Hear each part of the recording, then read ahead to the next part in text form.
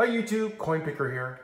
Here is that clock I picked up from the Salvation Army thrift store about a month and a half, two months ago. It's the Japanese Seikosha regulator schoolhouse clock, mechanical clock. And um, I uh, used the kit, the uh, watch slash clock kit, um, all those tools in there to take it all apart, clean it up and then tighten up all the screws and put it all back to, together again. And it's running pretty good. Um, actually, before I did that, the pendulum would run for about two minutes and then stop until I realized the clock has to be leveled.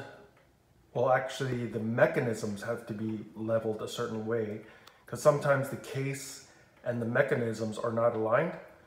So instead of trying to align all the mechanisms, I just uh, tried moving, I guess, tilting the clock towards one side, like the left side, at a certain angle until the um, pendulum continued to move. Um, so, so far it's been running a good 20, 30 minutes after I adjusted the, the angle of the clock. And it's not much, it's just a very slight angle I had to tilt it. But uh, yeah, it runs great.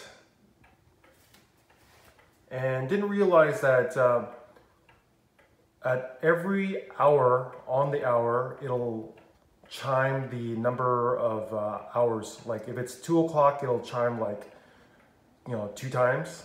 If it's 12 o'clock, it'll chime 12 times. So very loud. I guess that's why there's um, two winding mechanisms. One side is for winding up the clock and the other side is for winding up the chime spring.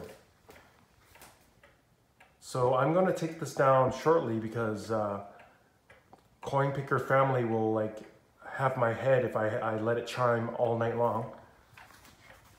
And uh, yeah, check out this. It has like a little tag, maker's tag. Pretty cool in Japanese. Anyways, I hope you enjoyed this updated video. Please like, comment, and subscribe. Coinpicker out.